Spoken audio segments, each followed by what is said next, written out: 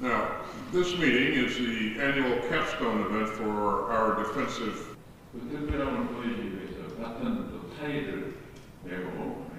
Across the Indo-Pacific region and beyond. I look forward to continuing.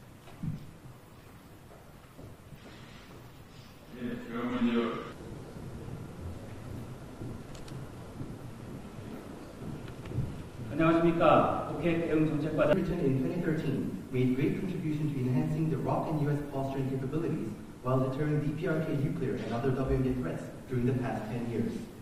그러나 그간 북한의 핵 WMD 능력이 고도화되고 핵 WMD